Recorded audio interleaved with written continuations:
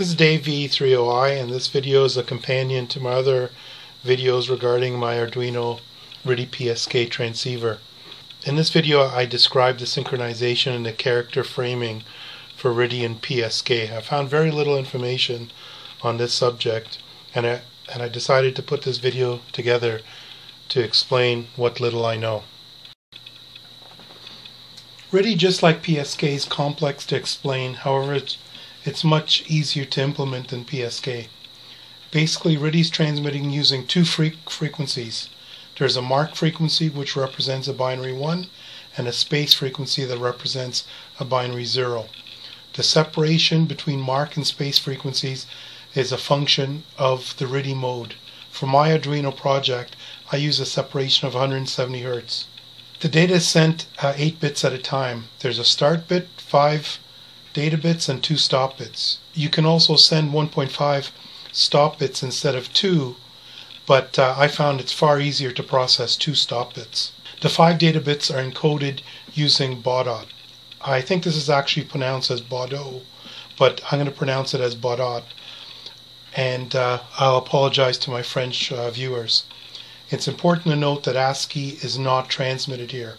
There's also an idle condition where the transmitter will send a continuous mark frequency that's at least 8 mark bits in duration. This is used to synchronize the transmitter and receiver. Later on I'll show that this is not always true, but for the time being let's just say that when the channel is idle, at least 8 mark bits will be sent. In order to understand the transmission of any digital signal, you need to define what the bit time is. In the case of RTTY, it's the time a marker space frequency must be turned turned on for. It's basically the time to transmit each bit and it depends on the baud rate. When the baud rate is the same as the bit rate, the bit rate's easy to cal calculate. For RTTY 45, the bit time is uh, 22 milliseconds.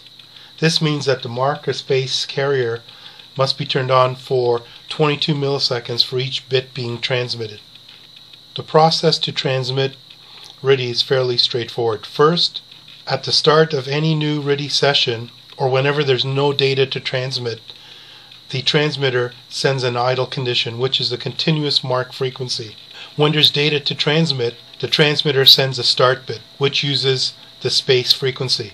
After the start bit, the transmitter then sends five data bits using a combination of mark and space frequencies.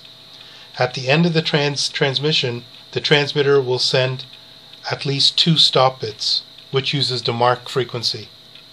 If there's another character to be transmitted, another start bit is sent and the process repeats itself. Whenever ASCII data is transmitted using RTTY, it's first translated to Baudot, which is a five character code. Baudot uses two 32 character tables, one for letters such as uh, A to Z uppercase, and the other for figures such as numbers 0 to 9 or special characters. There's also a special code which tells the receiver to switch to letters or figures.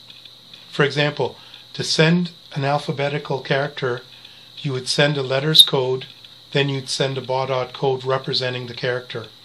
If you wanted to send a number, you'd send a figures code and then send a baudot code representing the number. There are a number of Baudot lookup tables and techniques used to perform the lookup available on the internet. There's also several YouTube videos describing Baudot. I had no trouble whatsoever finding information using Google. I'll summarize RTTY transmission using these two diagrams. The top diagram shows how bits are framed and characters are transmitted. Each orange box represents a RTTY bit time. For RTTY 45 this is 22 milliseconds. Orange boxes with an M means it's a mark bit or it's a mark frequency that's present for 22 milliseconds. Boxes with an S means it's a space bit or a space frequency is present for 22 milliseconds. Boxes with an M slash S means it's either a mark or a space bit. There are eight mark bits sent to synchronize the channel. Once the receiver detects idle, it starts looking for a start bit to signal data transmission. For RTTY, the start bit is a space bit. After the start bit, a 5-bit baudot character is transmitted. After the fifth bit is transmitted, two stop bits are sent. The stop bits are space bits. Once the two space bits are sent, the transmitter may start sending another character. The bottom diagram shows a sequence for transmitting VE3OOI. Each box represents a RTTY character that's sent. It doesn't represent a bit like the uh, like the prior diagram. Once a channel has been initialized with the idle sequence, the transmitter sends the letters code followed by V and E. Before sending 3, the transmitter must notify the receiver that it's shifting to figures and it sends a figures code followed by 3. Since the receiver is, now expecting figures, the transmitter must notify the receiver to switch back to letters and it sends the letters code followed by OOI. Once a transmission is complete, the transmitter sends idle sequences. I've noticed that FL Digi and DM780 send letters code as the idle sequence. There's an article written by W7AY describing why this is done. PSK is difficult to explain and even more difficult to implement in software. RTTY uses frequency shift keying, which is much easier to visualize. PSK uses phase shift keying, where the carrier's phase is shifted by 180 degrees. When a 180 degree phase shift is present, it represents a binary 0, and when no phase shift is present, it represents a binary 1. In PSK, the idle condition is when continuous 180 degree phase shifts are sent. When the channel is idle, if a binary 1 is detected, then it marks data as being transmitted. This is similar to the RTTY start bit, except in this case, the first one bit uh, counts as data. PSK is transmitted using varicode. This is a similar lookup table as RTTY except the length of the codes is variable. For example, the varicode for capital A is 7 bits long and the varicode for lowercase e is only 2 bits long. Varicode's designed such that there are never two consecutive bits present in the code. This avoids the receiver thinking it's an idle condition or end of transmission. Varicode also starts and ends with a 1 bit. The first 1 bit in varicode signals the receiver that data is being transmitted. For PSK31, the bit time is 32 milliseconds. That is, a phase shift or no phase shift is expected every 32 milliseconds. When at least two consecutive 180 degree phase shifts are transmitted, this lets the receiver know it's end of transmission. When no data is being transmitted and the channel is idle, consecutive phase shifts are sent every 32 milliseconds. For a PSK transmission, you would start off by transmitting the idle condition, followed by the varicode, then send at least two zero bits to mark the end of transmission. The top smaller diagram is showing how a 0 and 1 bit are transmitted using PSK. The orange cell represents a bit time of 32 milliseconds for PSK 31. The thin red bar represents a phase shift. If no red bar is present in the bit time cell, there's no phase shift. When there's a phase shift in the bit time cell, it represents a binary 0, and if there's no phase shift, it represents a binary 1.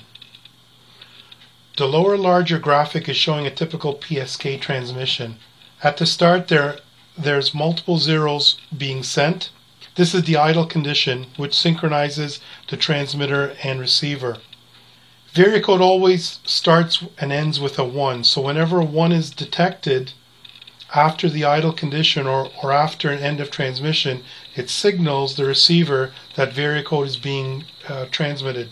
During each bit time, the receiver checks to see if there was a phase shift.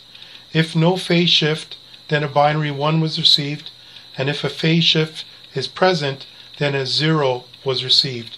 The receiver would shift each received varicode bit to form the varicode character. If the receiver detects two consecutive phase shifts, then it knows this is the end of transmission, and the last binary 1 bit it received was the last bit of the varicode. After receiving the end of transmission, the receiver converts the varicode to ASCII using the varicode lookup table. After sending the end of transmission, the transmitter may start sending the next varicode character. When transmitting PSK, you need to know how many characters to transmit. That is, you need to know how many bits are in the varicode. So what I've got here is a simple function that returns the length of the varicode. Basically, you would shift all bits until the value of the varicode is zero. So this summarizes the sequence that's used to decode uh, PSK. So basically, you would need to lock on onto the carrier, and once you have the carrier in your passband, you then start searching for phase shifts. Once you de detect the idle condition, then you start searching for data. That is, you start looking for a non-phase shift. When data is being received, then you need to keep an eye out for consecutive phase shifts which is going to indicate the end of transmission. So this marks the end of the video and I hope this information was helpful. If there's anything missing or you need to add anything to the video, please add comments or create a, another video which uh, better explains uh, the process.